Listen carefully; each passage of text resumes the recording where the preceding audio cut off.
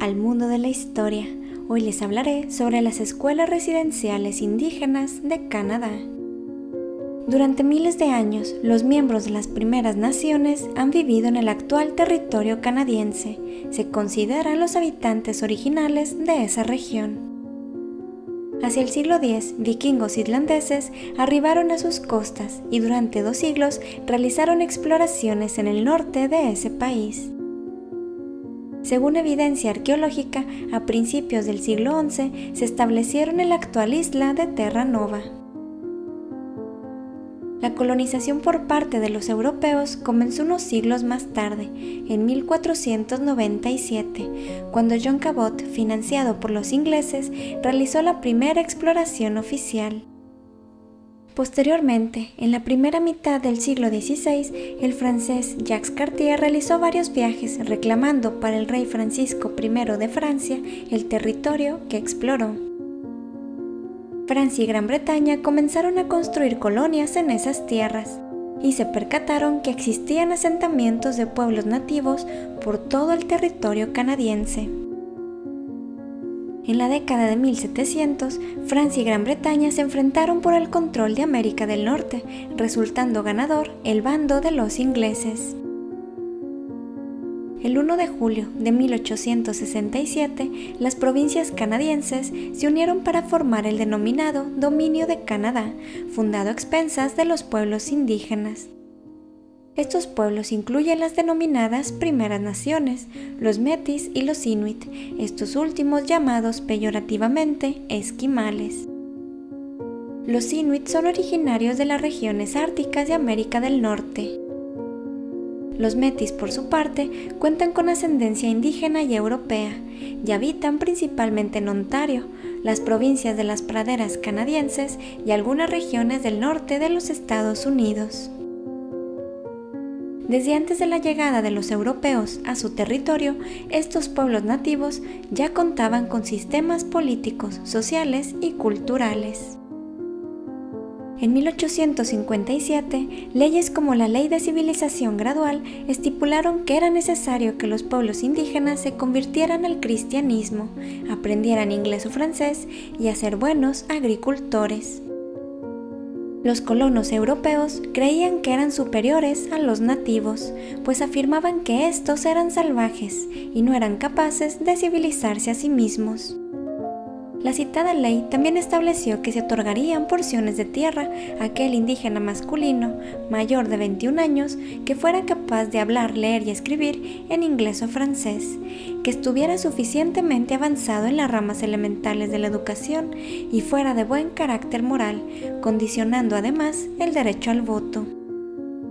Por si fuera poco, les prohibieron pescar, requerían permisos para poder vender su ganado o sus cosechas y les restringieron la entrada y la salida de sus reservas. En pocas palabras, se les coartó su autonomía. En la década de 1830 se crearon las llamadas escuelas residenciales indígenas, con la finalidad de educar, convertir y asimilar a los niños indígenas a la sociedad canadiense. Estas fueron operadas por el gobierno canadiense junto con las iglesias católica, anglicana y presbiteriana. Los gobiernos de las colonias se encargaron de proporcionar las instalaciones, mientras que las iglesias proporcionaron los maestros y los planes de estudio, pues afirmaban que no había manera de civilizar a los nativos sin la ayuda de la religión.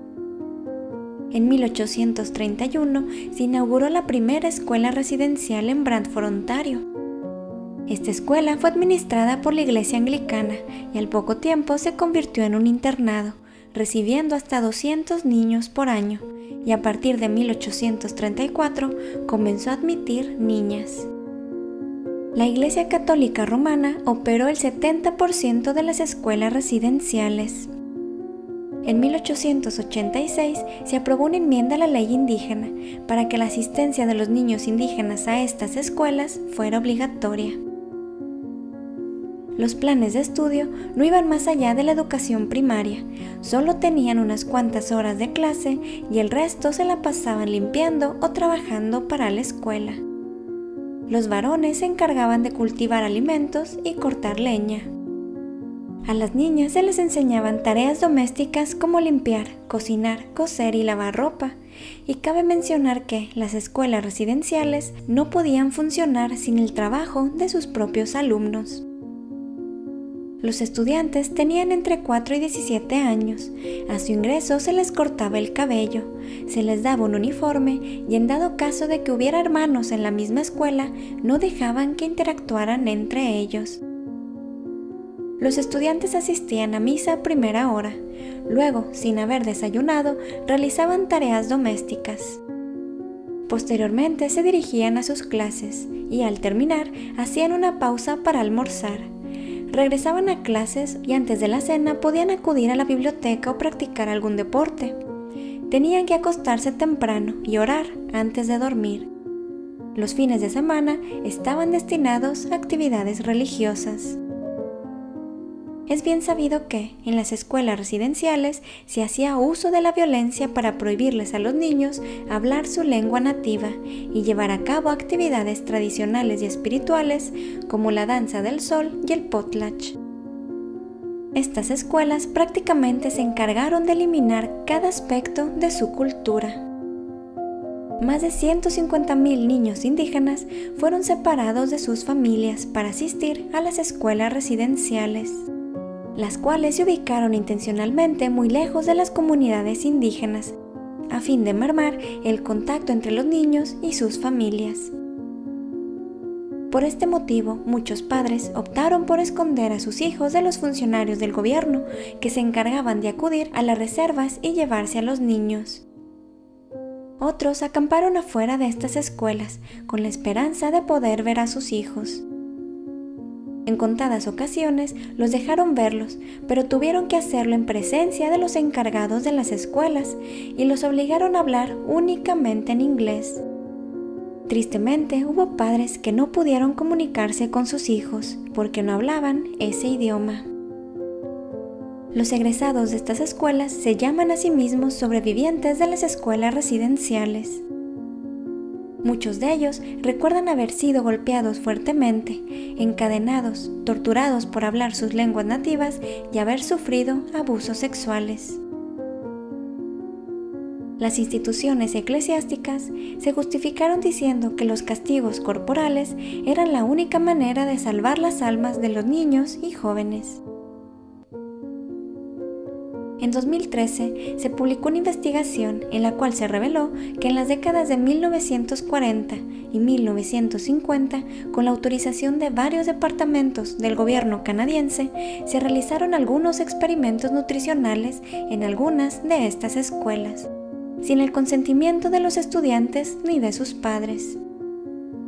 Los experimentos consistieron en restringir a algunos niños y jóvenes de nutrientes esenciales para conocer cómo impactarían ciertas mejoras en la dieta de otros estudiantes.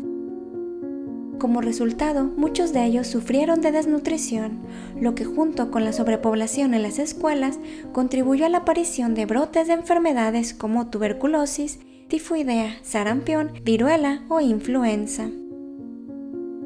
Algunos médicos les recomendaron a los encargados de estas escuelas que implementaran ciertas acciones para evitar las enfermedades. Tanto el gobierno como las iglesias se opusieron tajantemente, en parte debido a que querían reducir costos. A inicios del siglo XX, el inspector médico del gobierno, Peter Bryce, informó que el 24% de los niños indígenas que habían ingresado sanos a las escuelas residenciales morían en ellas. Lo más preocupante es que ese porcentaje no incluyó a los niños indígenas que enfermaron gravemente y fueron enviados a morir a sus casas. En la década de 1930, algunos funcionarios del gobierno reconocieron que las escuelas residenciales no cumplían con el objetivo para el cual fueron creadas, pues los niños indígenas no se habían asimilado a la sociedad europeo-canadiense. Y aunque no lo crean, cerca de 140 escuelas residenciales siguieron en funcionamiento hasta la década de 1970 en 1994 tuvo lugar el juicio contra Arthur Plint, quien trabajó 20 años como supervisor de la Escuela Residencial Indígena de Alberni. Durante el juicio, el juez lo llamó terrorista sexual y mencionó que el sistema de escuelas residenciales no era más que pedofilia institucionalizada. Arthur Plin fue sentenciado únicamente a 11 años de prisión por abusar sexualmente de niños, golpear brutalmente a aquellos que se resistían y manipularlos para que le llevaran nuevas víctimas.